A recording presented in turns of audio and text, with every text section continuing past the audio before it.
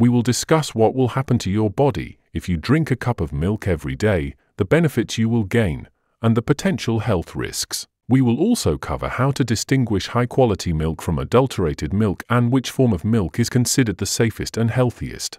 Additionally, we'll explore whether cow's milk causes or prevents cancer and discuss safer alternatives. Let's start with the health benefits. Regular intake of milk improves bone strength and decreases the risk of bone fractures, especially in older adults. This is because milk contains calcium, phosphorus, and proteins. However, the bone benefits of milk are not very long-term.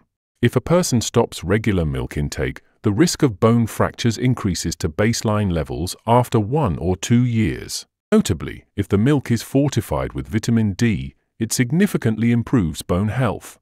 The second important benefit of milk is improved muscle strength and mass. Milk contains high-quality proteins, casein, and whey, which are easily absorbed and used for muscle repair and growth. Drinking milk after exercise is particularly beneficial for muscle growth. Regular intake of milk can positively affect insulin resistance and help prevent diabetes.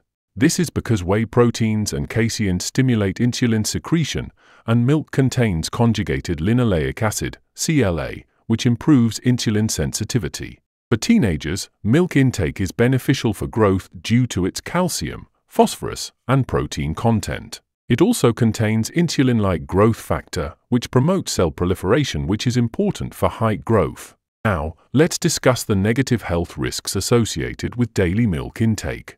Diarrhea, bloating, and abdominal pain can be caused by milk because it contains lactose, a milk sugar that some people cannot digest. Lactose digestion requires the enzyme lactase, which many people lack. However, gradually introducing small amounts of milk may help the body adapt and improve lactose digestion.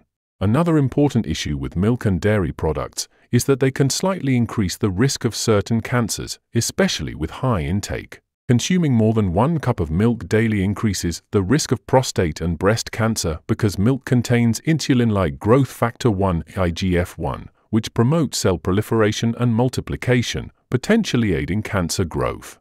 This risk significantly increases with daily intake exceeding 600 milliliters. High milk consumption can also increase the risk of ovarian cancer. So, milk may not be perfect product if you worry about breast and prostate cancer risks. But milk is not universally risky for cancers. For example, it decreases the risk of colorectal cancer. This is associated with the high calcium and vitamin D content in dairy products. Now let's discuss how to distinguish high-quality milk from low-quality milk. Generally, both natural milk and dried milk powder should have a similar composition, though dried milk powder may have fewer water-soluble vitamins like B12 and vitamin C. Additionally, preservatives are sometimes added to powdered milk.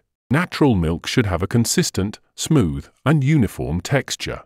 In contrast, reconstituted powdered milk might have slight lumpiness or a less creamy texture. The color should be uniform, without discolorations or unusual tints like a bluish hue, which can indicate dilution. Natural milk does not contain added sugars. Adulterated or low-quality milk may have lumps, a gritty texture, or a thin, watery consistency. Watery separation is also a sign of adulterated milk. When pouring milk, if it flows too quickly and thinly or leaves a watery trail, it might be diluted. To test milk quality, shake a small amount in a separate jar.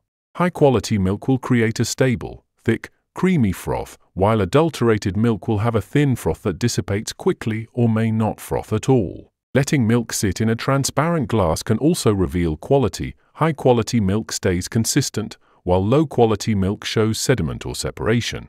Good quality milk is homogenized and pasteurized.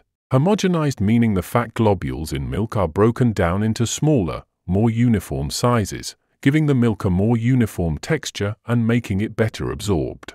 Pasteurization is a process that heats milk to a specific temperature for a set period to kill harmful bacteria without significantly changing the milk's nutrients and flavor.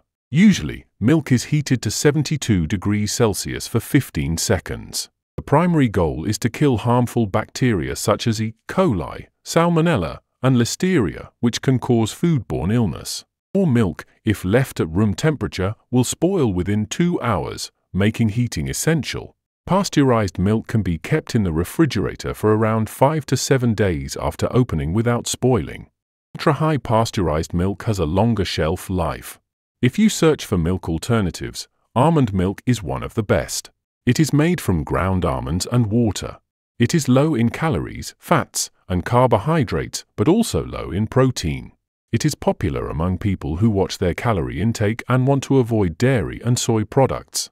Almond milk is considered not to increase cancer risk. Soy milk is also considered an alternative if you are looking for vegan milk.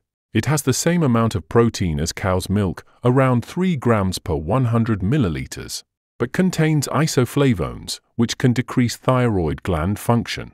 Isoflavones resemble estrogens and can have estrogen-like actions, potentially fueling breast cancer and endometriosis, so caution is advised when consuming soy milk. In terms of calories, cow's milk contains an average of 50 to 60 calories per 100 milliliters. Almond milk contains 15 calories. Soy milk contains around 40 calories.